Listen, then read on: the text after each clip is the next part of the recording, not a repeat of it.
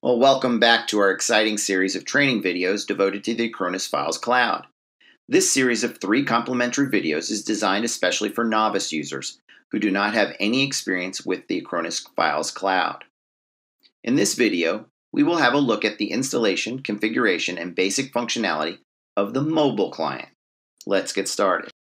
The mobile client for the Acronis Files Cloud is a sophisticated application available for a wide range of mobile devices powered by iOS, Android, and Windows mobile operating systems.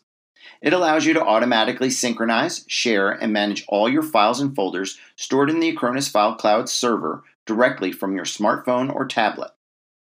In order to download a mobile client, navigate to the App Store, Microsoft Store, or Google Play, depending on the type of mobile device, and look for the Files Cloud application. Alternatively, you can log into the web based version of the Acronis Files Cloud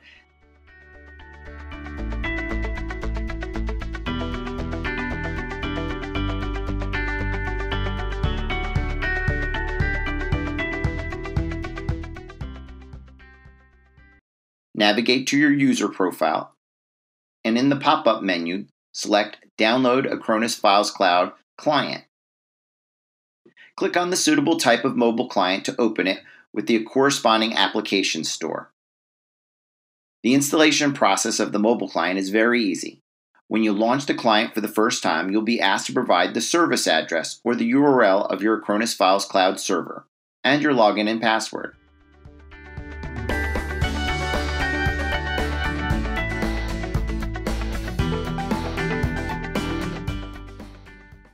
As soon as the client is launched, navigate to the main menu.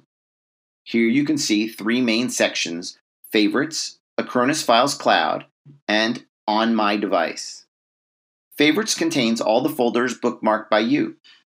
Acronis Files Cloud is a local folder synchronized with your account in the Acronis Files Cloud.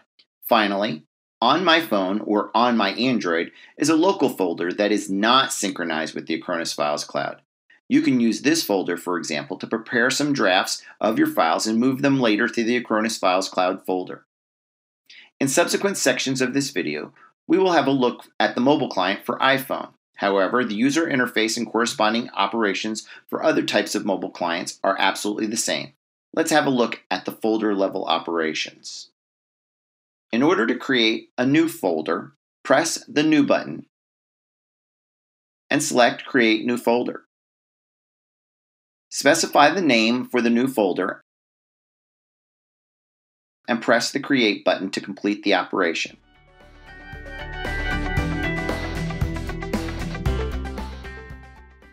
For each folder, you can perform the following operations. First, you can bookmark the folder and add it to the Favorites folder.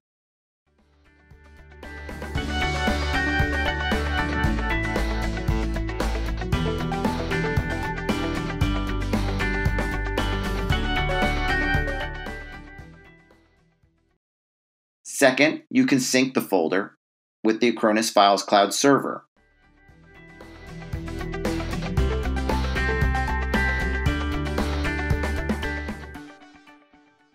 Third, you can delete the folder. Please bear in mind that this operation is irreversible. If you delete a folder, all the files and subfolders comprising that folder will be deleted permanently. You will not be able to restore those entities even through the web based version of the Acronis Files Cloud. Therefore, think twice before deleting any folder. Fourth, you can make a copy of the folder and paste it to another folder.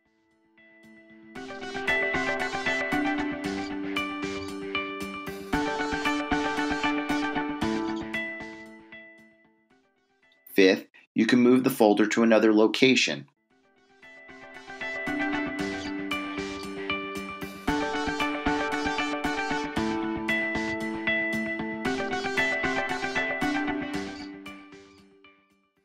Sixth, you can rename the folder.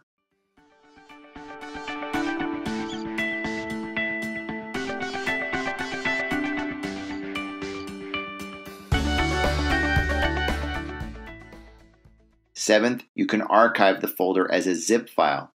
As an option, you can protect the zip archive with a password.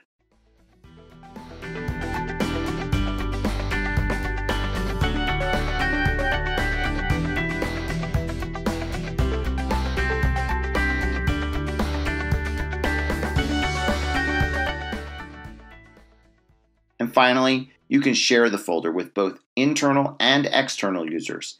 As an option, you can allow new users to edit and delete the folder and its content, as well as to invite other users. Moreover, you can specify the conditions for expiring new user profiles. Finally, you can customize your invitation and send it to new users in one of 12 available languages.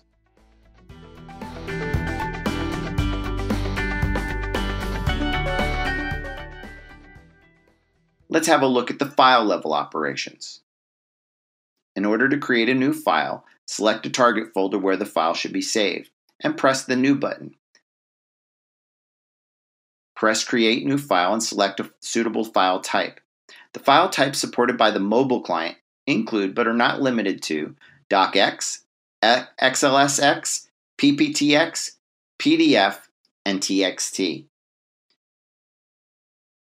Specify a name for a new file and press the Create button and complete the operation. Depending on the file type, you might be asked to provide some additional information, for example, authors' names. Those steps are optional and can be easily skipped. It should be noted that the file editor embedded into the mobile client is a full fledged editor. Along with standard text editing capabilities, you can add and manage images, photos, and various shapes. Moreover, in the case of PDF files, you can add and manage text annotations, voice annotations, and electronic signatures, as well as switch between various view types or enable night mode. For each file, you can perform the following operations delete, copy, move, rename, archive, and share. Those operations are similar to the ones at the folder level. Moreover, you can open and edit a file in other editors installed on your mobile device. Finally, let's have a look at the general settings of the mobile client. Thus, press the Settings button. If you're a novice user, we recommend keeping all the settings at their default values.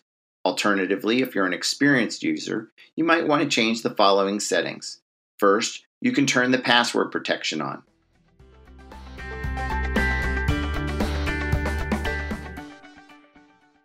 Second, you can increase the timeout if your bandwidth is low. Third, you can change the text file encoding according to your language's peculiarities. Fourth, you can amend auto sync settings. For example, you might want to automatically sync your content with the Acronis file server every 10 to 15 minutes. Finally, you can delete your current account or add one more account in the same or another Acronis file server. That's it with the mobile client. Are you excited about the capabilities of Acronis Files Cloud and its desktop and mobile clients? Please don't hesitate to contact us and request a trial account for the Acronis Files Cloud.